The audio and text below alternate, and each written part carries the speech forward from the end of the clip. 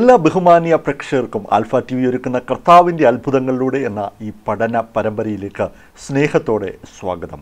കർത്താവ് ഈ ഭൂമിയിൽ തന്റെ പരസ്യ ശുശ്രൂഷ കാലയളവിൽ ചെയ്ത അത്ഭുതങ്ങളിലൂടെയുള്ള ഒരു സഞ്ചാരമാണ് ഈ എപ്പിസോഡുകളിലൂടെ നാം നിർവഹിക്കുന്നത്. ഇന്ന് കർത്താവ് ചെയ്ത മൂന്നാമത്തെ അത്ഭുതത്തിലേക്കാണ് നാം പ്രവേശിക്കുന്നത്. നമുക്ക് മർക്കോസിന്റെ സുവിശേഷം നാലാം അധ്യായത്തിന്റെ മുപ്പത്തി അഞ്ച് മുതലുള്ള വാക്യങ്ങൾ നമുക്ക് വായിച്ചു കേൾക്കാം. അന്ന് സന്ധ്യയായപ്പോൾ നാം അക്കരയ്ക്ക് പോക എന്ന് അവൻ അവരോട് പറഞ്ഞു. അവർ പുരുഷാരത്തെ വിട്ട് താൻ പടകിൽ ഇരുന്ന പാടെ അവനെ കൊണ്ടുപോയി. മറ്റു ചെറുപടകുകളും കൂടെ ഉണ്ടായിരുന്നു. അപ്പോൾ വലിയ ചുഴലിക്കാറ്റ് ഉണ്ടായി. പടകിൽ തിര തള്ളിക്കയറുകൊണ്ട് അത് മുങ്ങുമാറായി. അവൻ അമരത്ത് തലയിണ വെച്ച് ഉറങ്ങുകയായിരുന്നു. അവർ അവനെ ഉണർത്തി ഗുരു ഞങ്ങൾ നശിച്ചു പോകുന്നതിൽ നിനക്ക് വിചാരം ഇല്ലയോ? എന്ന് പറഞ്ഞു. അവൻ എഴുന്നേറ്റ് കാറ്റിനെ ശാസിച്ചു. കടലിനോട് അനങ്ങാതിരിക്കുക അടങ്ങുക എന്ന് പറഞ്ഞു. കാറ്റമർന്നു വലിയ ശാന്തതയുണ്ടായി. പിന്നെ അവൻ അവരോട് നിങ്ങൾ ഇങ്ങനെ ഭീരുക്കൾ ആകുവാൻ എന്ത്?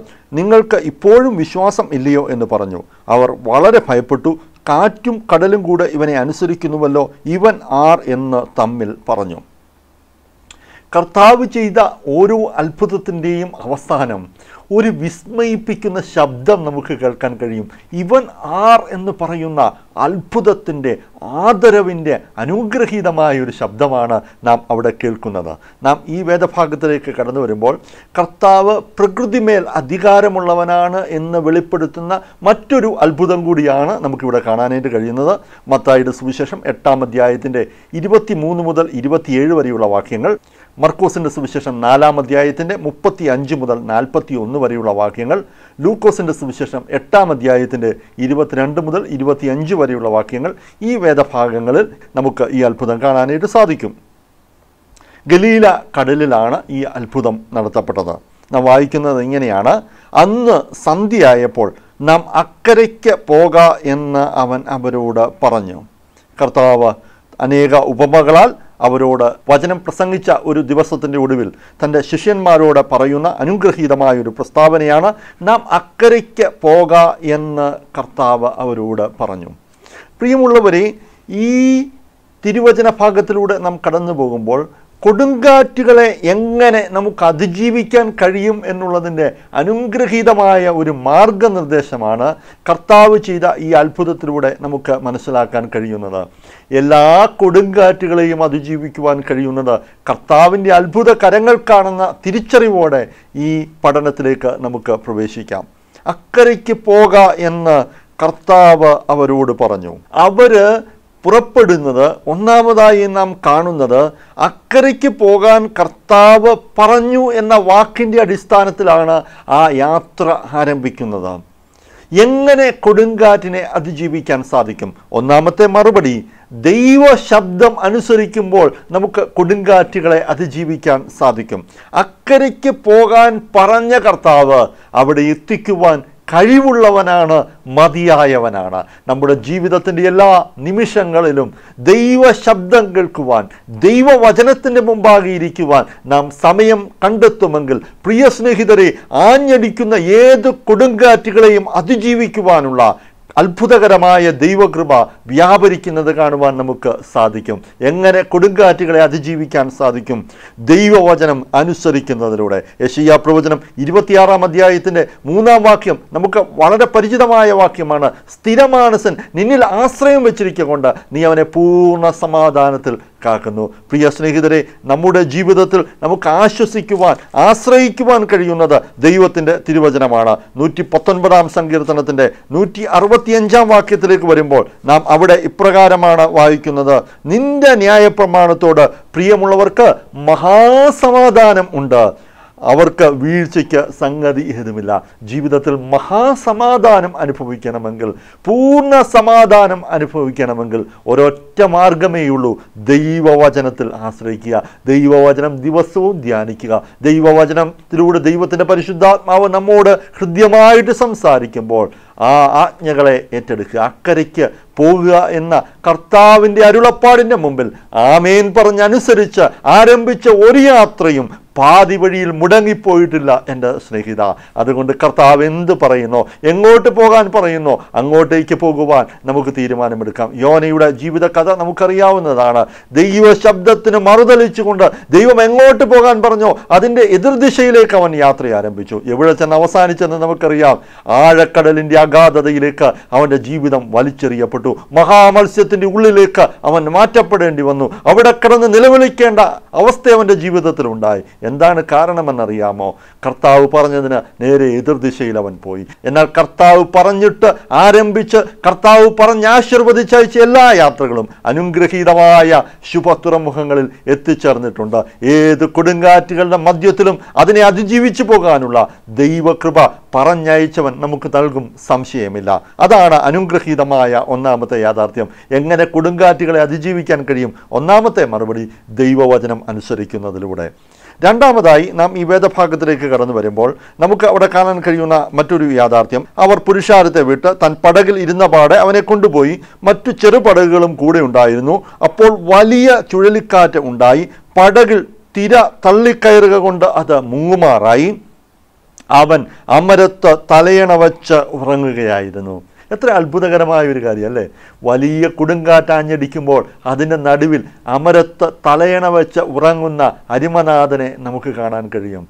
പ്രിയമുള്ളവരെ ഈ ആഴക്കടലിന്റെ ഓരോ സ്പന്ദനവും അറിയാവുന്ന തിരമാലകളുടെ ഓരോ അനക്കവും അറിയാവുന്ന അരുമനാഥന് അതിന്റെ മധ്യത്തിൽ യാതൊരു ഭയവും കൂടാതെ ഉറങ്ങാനായിട്ട് കഴിയും. കർത്താവിന്റെ മാനുഷിക പ്രകൃതിയിൽ അവൻ ഉറങ്ങുന്നവനായിരുന്നു. നമ്മുടെ ജീവിതത്തോട് അവിടുന്ന് സകലത്തിലും താതാത്മ്യം പ്രാപിക്കുന്നത് നമുക്ക് കാണാനായിട്ട് കഴിയും. ക്ഷീണിതനാകുന്ന ഉറങ്ങുന്ന വിശ്രമിക്കുന്ന കർത്താവിനെ നമുക്ക് കാണാനായിട്ട് കഴിയും. എന്നാൽ അവിടെ കാണുന്ന മനോഹരമായ ഒരു യാഥാർത്ഥ്യം പടകിൽ തിര തള്ളിക്കയറുക കൊണ്ട് അത് മുങ്ങുമാറായി. കർത്താവ് അമരത്ത് തലവച്ച് കിടക്കുമ്പോഴും ആ പടക് മുങ്ങിപ്പോകും എന്ന് തോന്നുന്ന സാഹചര്യത്തിലേക്ക്. തിരമാലകൾ അതിനെ അടിക്കുന്ന സാഹചര്യത്തിലേക്ക്. ആ പടക് താണു പോകും എന്ന് തോന്നുന്ന ഒരു സാഹചര്യത്തിലേക്ക് അത് മാറ്റപ്പെടാനായിട്ട് ഇടയായിട്ട് തീർന്നു. പ്രിയമുള്ളവരെ എന്നാൽ അവിടെ നമുക്ക് കാണാനായിട്ട് കഴിയുന്ന ഒരു കാര്യമുണ്ട്. അവൻ അമരത്ത് അപ്പോഴും തലവെച്ച് ഉറങ്ങുകയാണ്. അവർ അവനെ ഉണർത്തി ഗുരു ഞങ്ങൾ നശിച്ചു പോകുന്നതിൽ നിനക്ക് വിചാരമില്ലയോ? എന്ന് കർത്താവിനോട് ചോദിച്ചു. പ്രിയമുള്ളവരെ ഇങ്ങനെ ഉറങ്ങുന്ന കർത്താവിനെ അവർ ഉണർത്തി കർത്താവിനോട് ചോദിക്കുകയാണ് കർത്താവ് ഞങ്ങൾ നശിച്ചു പോകുന്നതിൽ നിനക്ക് പ്രയാസമൊന്നുമില്ലേ? അവൻ എഴുന്നേറ്റ് കാറ്റിനെ ശാസിച്ചു. കടലിനോട് അനങ്ങാതിരിക്കുക അടങ്ങുക എന്ന് പറഞ്ഞു. കാറ്റമർന്നു വലിയ ശാന്തത ഉണ്ടായി. രണ്ടാമതായി നമുക്ക് കൊടുങ്കാറ്റുകളെ അതിജീവിക്കണം എങ്കിൽ ഭയത്തിൽ തുടരാതിരിക്കണം. ഇവിടെ ഈ ശിഷ്യന്മാർ ഈ കൊടുങ്കാറ്റടിച്ചപ്പോൾ തിരമാലകൾ ഉയർന്നു പൊങ്ങിയപ്പോൾ ശിഷ്യന്മാർ ഭയപ്പെട്ടു പോയി. അവർ ഭയപ്പെടുവാൻ യാതൊരു ആവശ്യവും അവിടെ ഇല്ലായിരുന്നു. കാരണം എന്താണ്? കർത്താവ് അവരുടെ പടകിലുണ്ട്. കർത്താവ് പടകിലുള്ളപ്പോൾ എന്തിനാണ് ഭയപ്പെടുന്നത്. എന്റെ പ്രിയമുള്ളവരെ വിശ്വാസമാണ് ഭയത്തെ കീഴ്പ്പെടുത്തുന്നത്. അവർ അവിശ്വാസികളായിട്ട് തീർന്നു. അവർ ഭയത്തിലേക്ക് മാറ്റപ്പെട്ടു. ജീവിത സാഹചര്യങ്ങളിൽ ഭയപ്പെടുത്തുന്ന ഒട്ടേറെ കാഴ്ചകൾ മുമ്പിൽ വരുമ്പോൾ വലിയ കൊടുങ്കാറ്റുകൾ ഹാഞ്ഞ് അടിക്കുമ്പോൾ കൊടുങ്കാറ്റുകളെ നോക്കി ശാന്തമായി നമുക്ക് പറയാൻ കഴിയേണ്ട ഒരു യാഥാർത്ഥ്യമുണ്ട്. എന്താണെന്നറിയാമോ? കൊടുങ്കാറ്റുകളെ എന്റെ ജീവിതത്തിന്റെ പടകിൽ എന്റെ അരുമനാഥനുണ്ട്. ഏത് കൊടുങ്കാറ്റിനെയും ശാന്തമാക്കാൻ കഴിയുന്ന കൊടുങ്കാറ്റുകളുടെ മേൽ ആധിപത്യമുള്ള അധികാരമുള്ള കർത്താവ് എനിക്ക് വേണ്ടി ജീവിക്കുന്നുണ്ട്. അവൻ കൊടുങ്കാറ്റുകളെ ശാന്തമാക്കുവാൻ മതിയായവനാണ്. എന്റെ പ്രിയമുള്ളവരെ ഒരിക്കലും ഭയത്തിൽ തുടരേണ്ട യാതൊരു ആവശ്യവുമില്ല.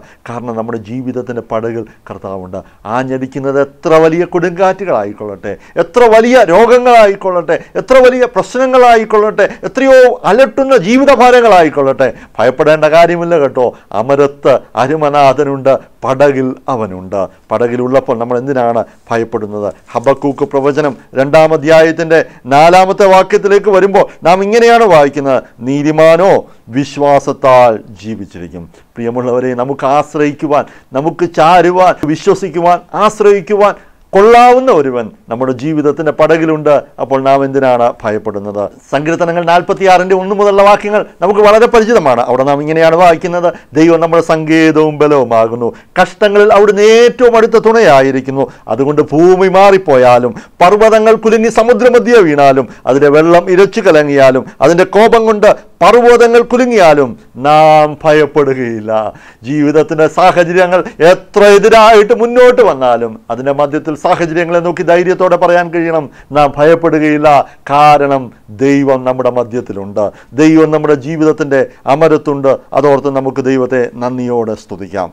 ഈ കൊടുങ്കാറ്റുകളെ അതിജീവിക്കുവാൻ നാം എന്താണ് ചെയ്യേണ്ടത്? തുടർന്നുള്ള വാക്യങ്ങളിൽ നാം ഇങ്ങനെയാണ് കാണുന്നത്. കർത്താവ് കൽപ്പിച്ചു കാറ്റിനെ ശാസിച്ചു കടലിനോട് അനങ്ങാതിരിക്കുക അടങ്ങുക എന്ന് പറഞ്ഞു. കാറ്റമർന്നു വലിയ ശാന്തത ഉണ്ടായി. പിന്നെ അവൻ അവരോട് നിങ്ങൾ ഇങ്ങനെ ഭീരുക്കൾ ആകുവാൻ എന്ത്? നിങ്ങൾക്ക് ഇപ്പോഴും വിശ്വാസം ഇല്ലയോ? എന്ന് പറഞ്ഞു. പ്രിയമുള്ളവരെ നാം കൊടുങ്കാറ്റുകളെ അതിജീവിക്കണമെങ്കിൽ നാം മനസ്സിലാക്കേണ്ട മൂന്നാമത്തെ അനുഗ്രഹീതമായ യാഥാർത്ഥ്യം ദൈവത്തിന് നമ്മെപ്പറ്റി വിചാരമുണ്ട് എന്ന് നാം തിരിച്ചറിയണം. എല്ലാ കൊടുങ്കാറ്റുകളുടെയും മധ്യത്തിൽ പ്രിയമുള്ളവരെ നമ്മെ തനിച്ചാക്കി കടന്നു പോകുന്ന ഒരു ദൈവമല്ല നാം സേവിക്കുന്ന ദൈവം. അവിടുന്ന് നമ്മെപ്പറ്റി എപ്പോഴും വിചാരപ്പെടുന്നവനാണ്. ഒന്ന് പത്രോസ് അഞ്ചാം അധ്യായത്തിന്റെ ഏഴാം വാക്യം നമുക്കറിയാം. നമ്മുടെ സകല ചിന്താകുലവും അവന്റെ മേൽ ഇട്ടുകൊള്ളുക. നമ്മെ അലട്ടുന്ന ഭാരങ്ങൾ എന്തു തന്നെയാണെങ്കിലും പ്രശ്നങ്ങൾ എന്തു തന്നെയാണെങ്കിലും ചോദ്യങ്ങൾ എന്തു തന്നെയാണെങ്കിലും പ്രിയമുള്ളവരെ നമ്മെ കരുതുന്ന ഒരു കർത്താവ് അമരത്തുണ്ട്. നമ്മുടെ കർത്താവ് അമരത്തുണ്ട് എന്ന് മാത്രമല്ല അവിടുന്ന് നമ്മെ കരുതുന്നവനാണ്. കർത്താവ് ചോദിക്കുന്ന ചോദ്യം ഇതാണ് നിങ്ങളിങ്ങനെ ഭീരുക്കൾ ആകുവാനെന്ത്? നിങ്ങൾക്കിപ്പോഴും വിശ്വാസമില്ലയോ? പ്രിയമുള്ളവരെ എന്തിനാണ് നിങ്ങൾ ഭയപ്പെടുന്നത്? ഞാൻ കരുതുവാനുള്ളപ്പോൾ. നിങ്ങൾ എന്തിനാണ് അവിശ്വാസികളായിത്തീരുന്നത്? വിശ്വസിക്കാൻ കൊള്ളാവുന്ന ഞാൻ ഉള്ളപ്പോൾ. പ്രിയമുള്ളവരെ ഭയപ്പെടാതിരിക്കുവാൻ നമുക്ക് സാധിക്കും. കാരണം എന്താണെന്നറിയാമോ? നമ്മുടെ ജീവിതത്തിന്റെ അമരത്ത് കർത്താവുണ്ട്. അവൻ നമുക്ക് വേണ്ടി കരുതുന്നവനാണ്. സ്വന്തം പുത്രനെ ആദരിക്കാതെ നമുക്ക് വേണ്ടി ഏൽപ്പിച്ച് നൽകിയവൻ അവനോട് കൂടെ സകലവും നൽകാതിരിക്കുമോ? ദൈവത്തിന് നന്ദിയോടെ സ്തുതിക്കാം. ജീവിതത്തിന്റെ ഏത് വലിയ കൊടുങ്കാറ്റുകളിലും നമ്മൾ കരുതുന്ന ഒരു കർത്താവ് അമരത്തുണ്ട് എന്ന് തിരിച്ചറിയാം. മാത്രമല്ല നാൽപ്പത്തിയൊന്നാം വാക്യം. അവർ വളരെ ഭയപ്പെട്ടു. കാറ്റും കടലും കൂടെ ഇവനെ അനുസരിക്കുന്നുവല്ലോ ഇവനാർ എന്ന് പറഞ്ഞു. പ്രിയമുള്ളവർ സകലത്തെയും ദൈവം നിയന്ത്രിക്കുന്നുണ്ട് എന്ന ഒരു തിരിച്ചറിവുണ്ടെങ്കിൽ ഈ ദൈവം പരമാധികാരിയാണെന്ന തിരിച്ചറിവുണ്ടെങ്കിൽ കാറ്റും കടലും കൂടി ഇവനെ അനുസരിക്കുമെന്ന് നമുക്ക് തിരിച്ചറിയാൻ കഴിയുമെങ്കിൽ ജീവിതത്തിന്റെ ഏത് കടുത്ത സാഹചര്യങ്ങളെയും ഏത് വലിയ കൊടുങ്കാറ്റുകളെയും നമുക്ക് അതിജീവിക്കാനായിട്ട് സാധിക്കും. നമ്മുടെ ജീവിതത്തിന്റെ സമസ്ത നിമിഷങ്ങളിലും നമ്മുടെ ജീവിതത്തെ നിയന്ത്രിക്കുന്ന കരുതുന്ന പരിപാലിക്കുന്ന ഒരു ദൈവം നമുക്ക് വേണ്ടി ജീവിക്കുന്നുണ്ട്. പ്രിയമുള്ളവരെ ഒരു കൊടുങ്കാറ്റും അവന്റെ മീതയല്ല. അവനെ നിയന്ത്രിക്കാൻ കഴിയാത്ത ഒരു കൊടുങ്കാറ്റും നമ്മുടെ ജീവിതത്തിലുള്ള റോമാലേഖനം അതിന്റെ എട്ടാം അധ്യായത്തിന്റെ മുപ്പത്തിയഞ്ച് മുതൽ മുപ്പത്തി ഒൻപത് വരെയുള്ള വാക്യങ്ങൾ. നമുക്ക് വളരെ പരിചിതമായ വാക്യങ്ങളാണ്. ആ വാക്യങ്ങൾ ഇങ്ങനെയാണ് വായിക്കുന്നത്. ക്രിസ്തുവിന്റെ സ്നേഹത്തിൽ നിന്ന് നമ്മെ വേർപിരിക്കുന്നത് ആര്? കഷ്ടതയോ സങ്കടമോ ഉപദ്രവമോ പട്ടിണിയോ നഗ്നതയോ ആപത്തോ വാളോ. നിന്റെ നിമിത്തം ഞങ്ങളെ ഇടപെടാതെ കൊല്ലുന്നു. അറുപ്പാനുള്ള ആടുകളെ പോലെ ഞങ്ങളെ എണ്ണുന്നു എന്ന് എഴുതിയിരിക്കുന്നുവല്ലോ. നാമോ നമ്മെ സ്നേഹിച്ചവൻ മുഖാന്തരം. ഇതിലൊക്കെയും പൂർണ ജയം പ്രാപിക്കുന്നു. മരണത്തിനോ ജീവനോ ദൂതന്മാർക്കോ വാഴ്ചകൾക്കോ അധികാരങ്ങൾക്കോ ഇപ്പോഴുള്ളതിനോ വരുവാനുള്ളതിനോ ഉയരത്തിനോ ആഴത്തിനോ മറ്റു യാതൊരു സൃഷ്ടിക്കോ നമ്മുടെ കർത്താവായ യേശു ക്രിസ്തുവിലുള്ള ദൈവസ്നേഹത്തിൽ നിന്ന് നമ്മെ വേർപിരിപ്പാൻ കഴിയില്ല എന്ന് ഞാൻ ഉറച്ചിരിക്കുന്നു. അപ്പോസ്തലനായ പൗലോസിന്റെ ഉത്തമമായ ഉറപ്പുള്ള ബോധ്യമായിരുന്നു അത്. എന്റെ പ്രിയമുള്ളവരെ കർത്താവാണ് സകലത്തെയും നിയന്ത്രിക്കുന്നത്. അവിടുന്ന് നമുക്ക് അനുകൂലമായിരിക്കുമ്പോൾ ഈ ലോകത്തിൽ ഒരു ശക്തിക്കും നമുക്ക് പ്രതികൂലമായി നിൽക്കാനായിട്ട് കഴിയത്തില്ല. അതുകൊണ്ട് കർത്താവാണ് സകലത്തെയും നിയന്ത്രിക്കുന്നതെന്ന തിരിച്ചറിവ് നമുക്ക് ഈ അത്ഭുതത്തിലൂടെ ലഭിക്കാനായിട്ട് ഇടയാകും.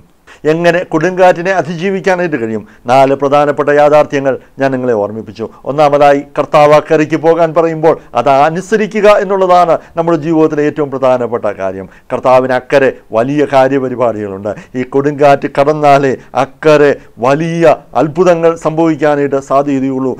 പിശാജ് കെട്ടിവെച്ചിരിക്കുന്ന ചില ജീവിതങ്ങളെ മോചിപ്പിക്കണമെങ്കിൽ ഈ അക്കരെ കടന്നേ മതിയാകത്തുള്ളൂ. ഈ കൊടുങ്കാറ്റിനെ അതിജീവിച്ചേ മതിയാകത്തുള്ളൂ. അതുകൊണ്ട് അക്കരയ്ക്ക് പോകുക എന്ന് പറയുമ്പോൾ അരിമനാഥന് വലിയ കൃത്യമായ ഒരു സ്വപ്നമുണ്ട് ലക്ഷ്യമുണ്ട് എന്ന തിരിച്ചറിവോടെ ആമേൻ പറഞ്ഞനുസരിക്കുവാൻ നമുക്ക് തീരുമാനിക്കാം. രണ്ടാമതായി കർത്താവാണ് അയച്ചിരിക്കുന്നതെന്നുള്ളത് കൊണ്ട് അവിടുന്ന് അമരത്തുള്ളത് കൊണ്ട് നമ്മൾ എന്തിനാണ് ഭയപ്പെടുന്നത്? ഈ ലോകത്തിലെ ഒരു ശക്തിക്കും നമ്മെ തോൽപ്പിക്കാനായിട്ട് കഴിയത്തില്ല. ഒരു കൊടുങ്കാറ്റിനും നമ്മെ കീഴടക്കാനായിട്ട് കഴിയത്തില്ല. കർത്താവ് അമരത്തുണ്ട്. മൂന്നാമതായി അമരത്തുള്ള കർത്താവ് കരുതുന്നവനാണെന്ന തിരിച്ചറിവോടെ സ്വർഗീയ കരുതലിൽ ആശ്രയിക്കാൻ നമുക്കിടയായി തരണം. നാലാമതായി സകലത്തെയും നിയന്ത്രിക്കുന്നത് അവിടുന്നാണ് എന്നുള്ള തിരിച്ചറിവ് നമ്മുടെ ജീവിതത്തിൽ എപ്പോഴും ഉണ്ടായിരിക്കണം. അവിടുന്ന് തന്നെയാണ് കർത്താവ്. പ്രിയമുള്ളവരെ കൊടുങ്കാറ്റിലും കർത്താവ് അവിടുന്ന് തന്നെയാണ്. ആ നല്ല കർത്താവിൽ നമുക്ക് ആശ്രയിക്കാം ആശ്വസിക്കാം.